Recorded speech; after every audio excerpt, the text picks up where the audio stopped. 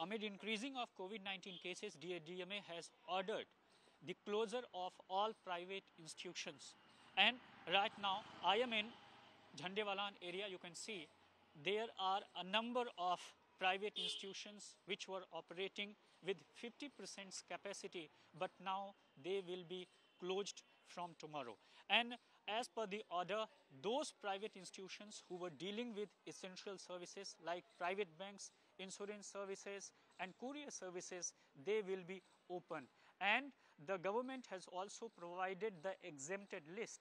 And uh, those who are working in such kind of private institutions are fearing uh, from uh, for losing their job because uh, they are aware that if the private institutions will be closed then uh, they will give the monthly salary to uh, their employees or not.